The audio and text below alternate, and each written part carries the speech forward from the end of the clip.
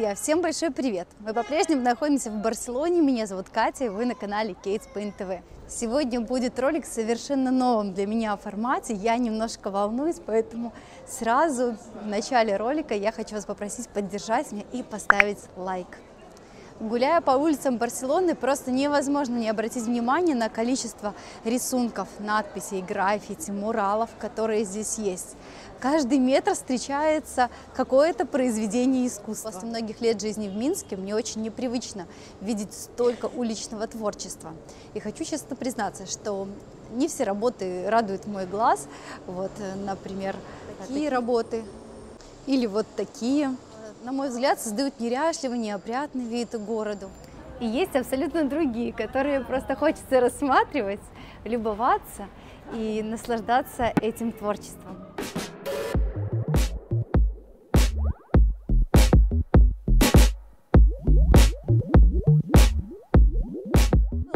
Мне выпала большая удача познакомиться с человеком, который занимается таким творчеством. И сегодня я хочу познакомить вас с этой замечательной девушкой, которую зовут Жасмина.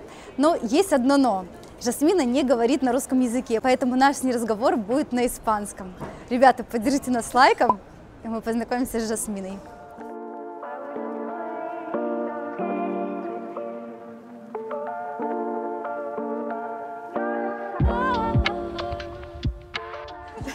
Привет, Жасмина, как твои дела? Привет, у меня все хорошо, у тебя?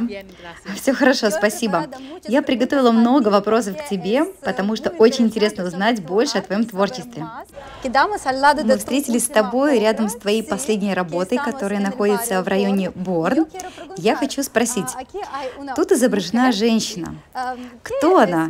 Где она находится? И почему именно эта женщина изображена на твоей картине? Обычно я всегда рисую голых женщин, чтобы дать людям идею, что они могут быть свободны. Свободны в своей голове, свободны в своих идеях, свободны от ожидания других людей. И мне нравятся женщины, потому что я сама женщина, и потому здесь нарисована женщина. Но обычно я начинаю рисовать интуитивно, и это результат моей работы. А, Это главная героиня всех твоих работ или каждый раз женщины разные? Хороший вопрос. Мои друзья тоже спрашивают меня об этом. Моя идея, что каждый раз здесь разные женщины. Но много людей думают, что всегда одна и та же женщина. И в конце концов только человеческий глаз может решить, что он хочет э, видеть. Это могут быть оба варианта. Э, в итоге женщины все-таки меняются. Да, для меня да. И где живут эти женщины, которые имеют руки как а, паста? На другой планете? Для меня это означает, что ты можешь двигаться, как ты хочешь, и можешь быть свободным. Ты должен уметь ценить свои навыки, чтобы делать то, что ты хочешь.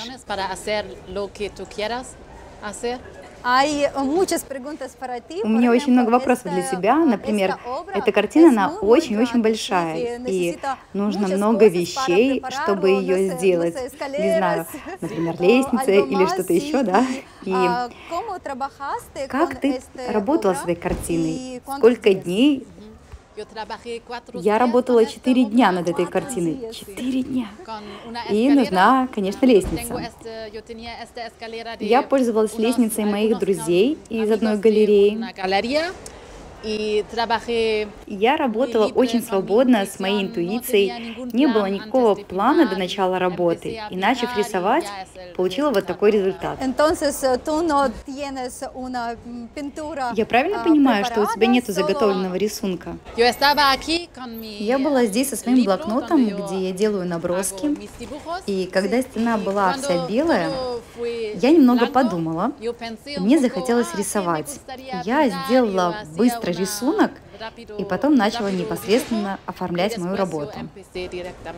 Жасмина поделилась со мной своими фотографиями, своими видео, которые были а, сделаны до момента этой работы, поэтому я буду вставлять небольшие участки видео, как стена выглядела до этой работы и как сейчас выглядит эта стена.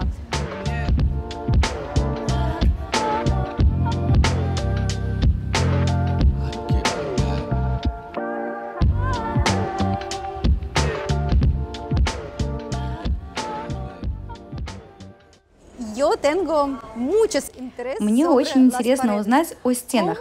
Как ты выбираешь стены, где ты можешь рисовать свои работы? Это связано с моей другой проблемой. Я не могу найти галерею, где бы я могла выставлять свои картины. И моя соседка всегда мне говорит, ты должна рисовать больше на улицах, рисуй больше на улицах, чтобы показать твое творчество большему количеству людей. И поэтому я начала рисовать на улицах. И когда я иду, внезапно в моей голове возникает идея, что это отличное место для того, чтобы порисовать. И я иду договариваться. В данном случае это моя дорога после моих занятий испанским, и в один день я подумала, это отличное место, чтобы нарисовать. И я поговорила с владельцем стены. Я у него спросила, можешь дать мне разрешение, пожалуйста, чтобы нарисовать здесь картину? И он ответил, да-да, ты можешь нарисовать здесь. И все. Получается, ты разговариваешь с хозяином стены перед началом своей работы, да? И это очень интересно, потому что я знаю, что есть много случаев, когда нету никакого разрешения, нет никакого там «спасибо, пожалуйста», и кто-то ночью приходит со своими красками, разрисовывает там стены, двери, и в итоге получается рисунок, который, например, не нравится владельцам этой стены. Мне нравится быть более спокойной, когда я рисую. Я знаю, что ничего не может случиться, поэтому я рисую в течение дня, и людям это нравится. Здесь есть животное. Что это? Это хороший вопрос для тебя. Для меня, не знаю, наверное, это какой-то крокодил или кайман, не знаю, какой-то бедный кайман.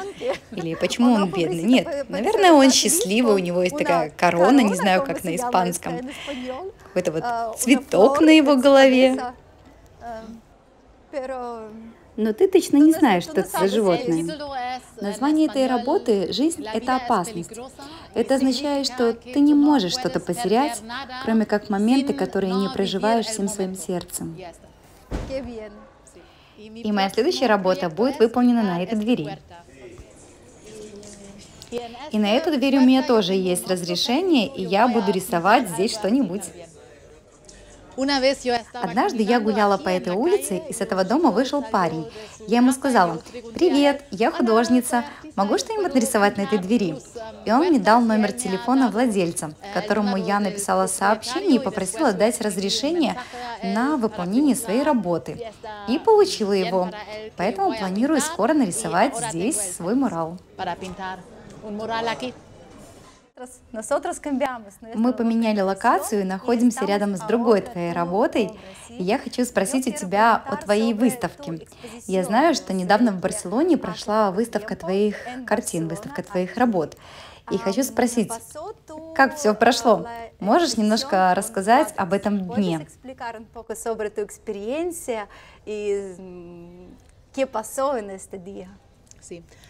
В этот день я работала в коллаборации вместе с коллективом, который называется Now Art.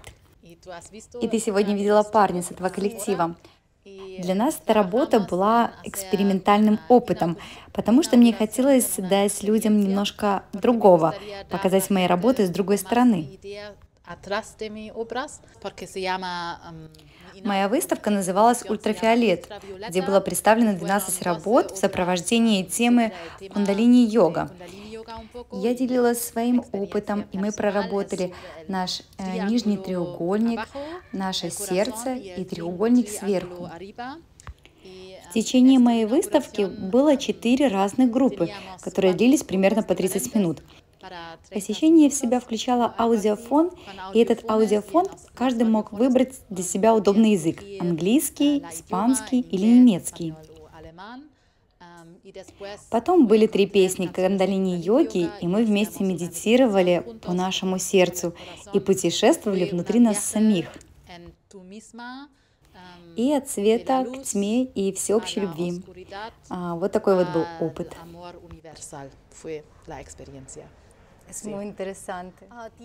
У тебя есть идеи, планы, чтобы организовать больше таких выставок? Что ты думаешь насчет этого?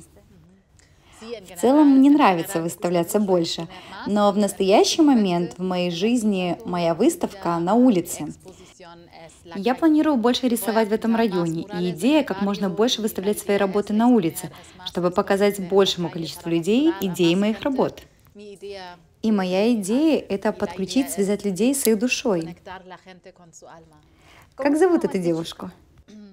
У нее нет имени, но мурал называется «Отпусти». Отпусти? Что это означает?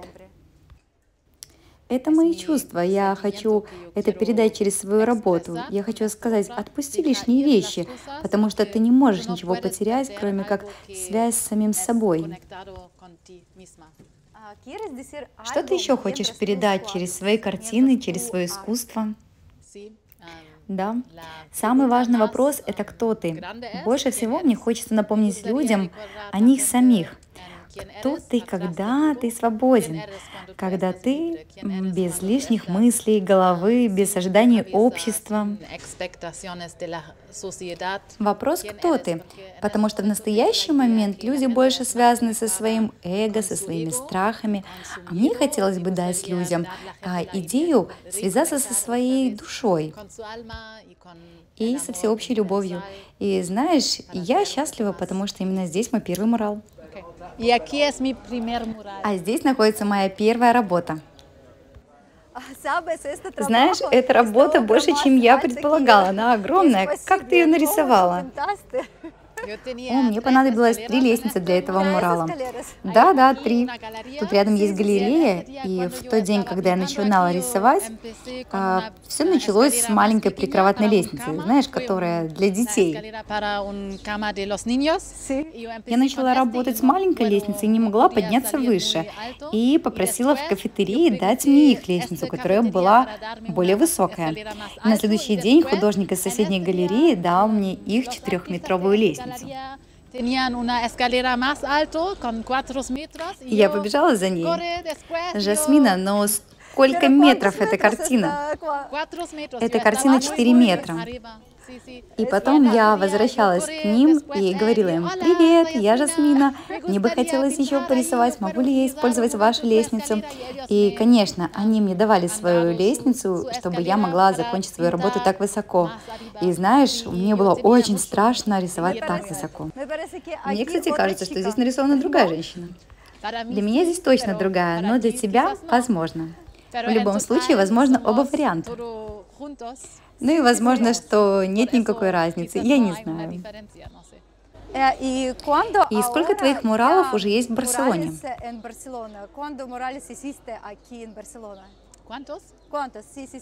На сегодняшний день я закончила три мурала и еще собираюсь рисовать четыре в ближайшее время. И потом тоже буду рисовать больше и больше. Нужно примерно 2-4 дня для каждого мурала. Например, этот я успела нарисовать за два дня. За два дня? Быстрее, чем первый, который мы смотрели. Да, потому что тот мурал я рисовала с большим количеством деталей, а этот более свободный. Скорость еще зависит от стены?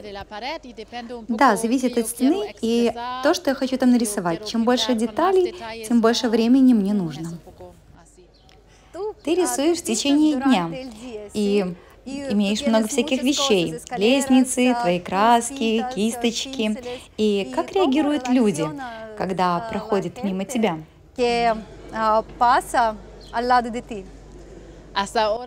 До настоящего дня у меня только положительный опыт в общении с людьми. И в этом месте самый лучший опыт, потому что люди ко мне подходили и всегда говорили спасибо.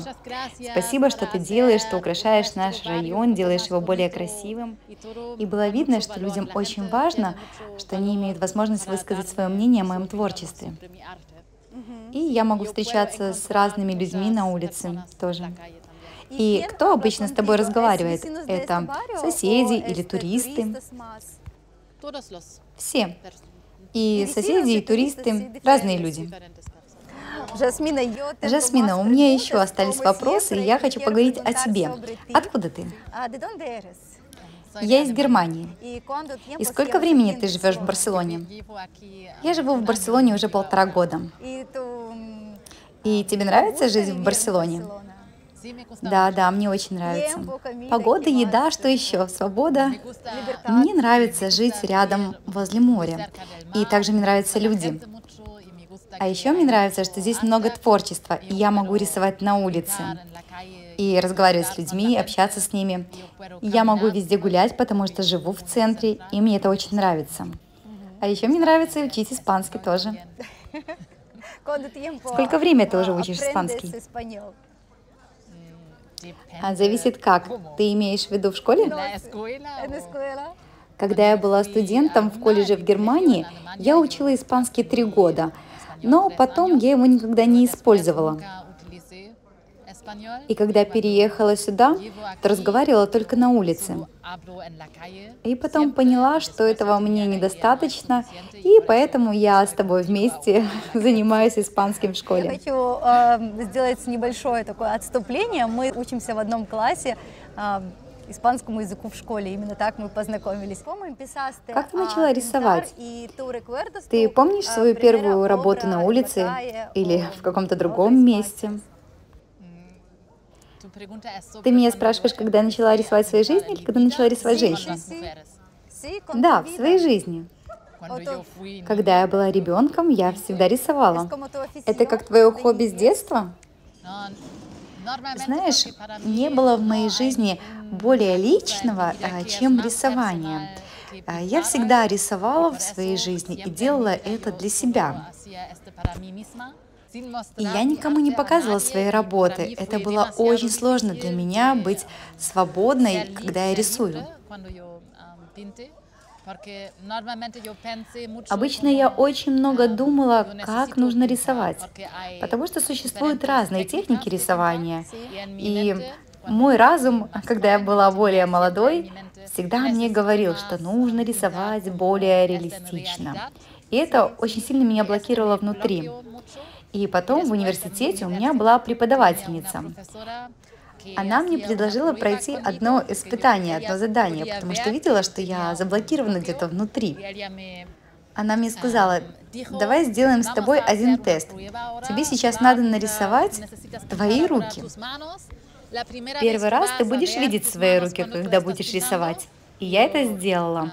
А потом она мне говорит, Сейчас ты нарисуешь свою руку еще раз, только в данном случае с закрытыми глазами. Я тогда у нее спросила, как это вообще работает, если я ничего не вижу. И она мне ответила, просто сделай это и посмотрим. А, я нарисовала обе руки, и она мне потом спросила, где здесь больше художника? В руке, которую ты рисовала с открытыми глазами, когда ты видела свою руку? Или рука, которую ты нарисовала с закрытыми глазами? И я ответила, что это та рука, которую я рисовала с закрытыми глазами.